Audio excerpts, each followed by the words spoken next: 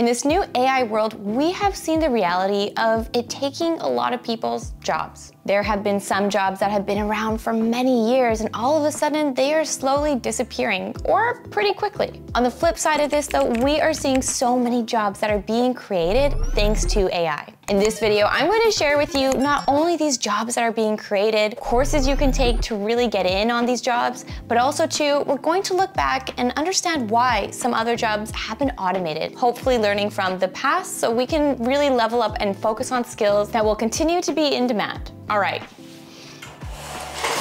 let's get into it. All right, let's start with one of these jobs that has really been trending as of recent, and rightfully so. Let me give you a hint. Headlines across tech news recently have been for this job paying 335,000 US. Yes, you heard that right. Can you guess what it is? Prompt engineer. Now, this is a relatively new job. I mean, it's been around for quite some time, but new in the sense of the amount of demand for it.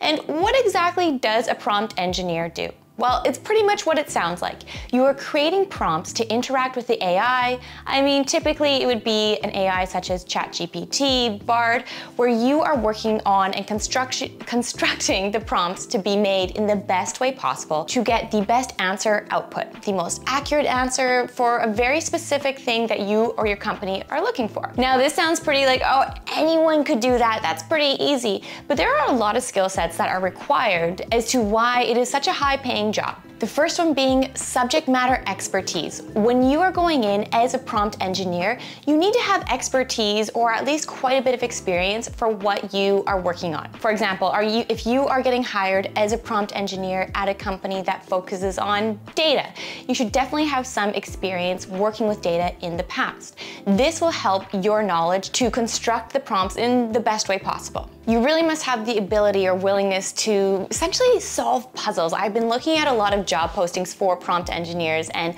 critical and logical thinking is key. Being able to cipher through a lot of information and also to be Eh, cautious because sometimes what the AI is outputting, we can't necessarily take its direct word for. So you need to sift through a lot of information as well. Now, I would say the most common way to become a prompt engineer is if you come from some sort of technical background or technical writing background. You don't need to come from necessarily a developer background in order to get this job, but I do think having a strong sense of machine learning and also to natural language processing is really essential to landing one of these higher paying levels prompt engineer jobs. Now it brings us to the question which I've been getting asked a lot about is, is this job really here to stay or is it kind of a fad?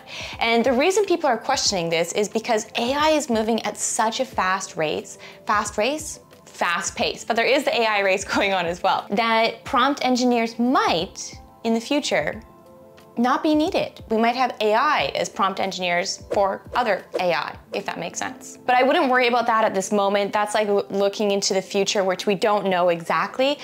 If this is a job that is of interest to you, there's a lot of potential to grow in it today. I will share some courses up on screen here that you can enroll in to really help set your resume apart when you are applying for these jobs. Next on the list for an in-demand job that has come out of the AI evolution is really Digital Protection Officer or DPO. As everything and businesses continue to go more digital, this role has continued to skyrocket.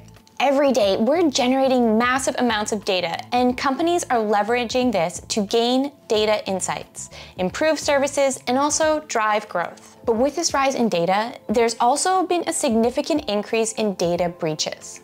This is where the role Data Protection Officer, DPO, comes in. A DPO is an enterprise security leadership role required by many companies. They oversee a company's data protection strategy and also its implementation to ensure compliance with these data protection regulations are met. Essentially, you can think of them as the ones who make sure companies are handling your personal data properly and securely. Put it that way, and you can see why this is such an important role that's continuing to become more and more in demand. So many companies get under fire in the news and the media for maybe misusing our data, maybe, maybe I should take out maybe misusing our data, and this is what this officer is in charge of, ensuring that that does not happen. Actually, kind of an interesting stat here.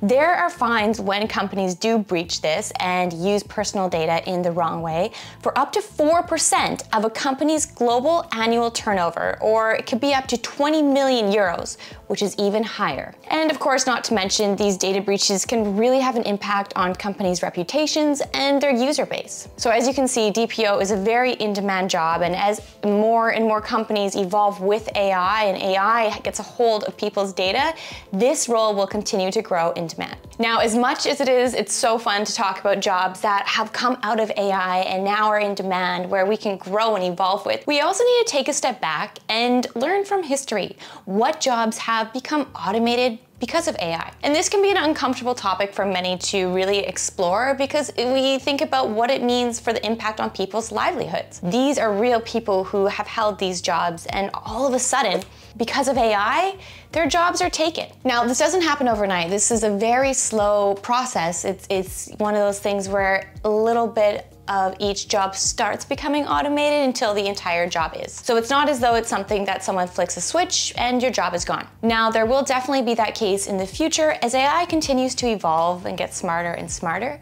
but why I think it's so important to really look at some jobs that are slowly or now quickly becoming obsolete thanks to AI or because of AI is because it's a great way to learn from history. Learn, okay, why did these jobs become automated and what can I look out for in the future? So my role is not another one of the first to go. Now, one that I wanted to highlight, which I hope isn't too much of a surprise to you, is help desk staff. So this could be anything from secretaries to uh, people who work in doctor's offices to uh, customer care on the phones. A lot of these roles have become automated because of AI. Now, with these jobs becoming automated, it doesn't mean that people are completely out of jobs. What it means is as long as they were able or willing to continue to evolve and learn new skills. I mean, you literally, the, the internet is at your fingertips for many people, and there are so many incredible free learning resources on there, which is a huge benefit. I can see a lot of skill sets that people held in help desks getting translated into different areas around technology. Even honestly, one area where I think a lot of people that held this job might be really good in is prompt engineering. How come? Because they're very good with uh, getting specific answers out of people about appointments, collaborating with people, and also have to be very organized and structured. These are some skill sets that they could then take and apply to upskilling and leveling up their learning in order to get a job such as a prompt engineer. Now, I'm not saying it's as simple as one, two, three, but it's definitely something on the optimistic side to really take into consideration that this is possible and you can upskill. You just need to have the motivation or the desire to want to.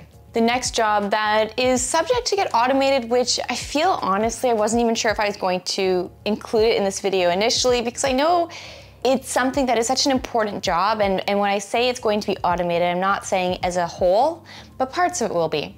And this is a job actually that I've held. It was my first job in tech, which is quality analyst engineer. And before you go, oh my gosh, Tiff, this is what I do. This is gonna be automated. Am I, I'm gonna lose my job? No, I'm not saying that. But as we've already seen, this is a job that so much of the processes are being automated. Especially if you think about, uh, I remember when I started my first job, a lot of it was manual QA testing, if you can believe it. So it was literally taking these Android tablets and uh, testing if the software works. So, okay, if I click here and then here, what does this pattern do? So, so old school. And nowadays, of course, there are so many programs that do it for us. So this job is one that will be heavily impacted by AI, not taken over, but you will need to really keep up with the latest automation processes, be able to build different tests to uh, test the different software. It will shift from more of a manual role into a very technical role that you have to be good with working with different systems or building them yourself. Now, for those of you who are already a QA or maybe you are looking to become one, it's still a great job to become. You just need to be aware of this. Uh, here are some courses that I would really recommend to level up your skills when it comes to everything quality assurance. All right, I hope you enjoyed this video, not only highlighting some new jobs that have come out of AI, and also too, it's really important to note that these are just a few jobs that have come out of AI as AI continues to evolve and grow, which as you know, is doing so at such a fast pace, more new jobs will continue to come up, which is really exciting for us. Also too, I hope you enjoyed going through some of the jobs that are continuing to be automated by AI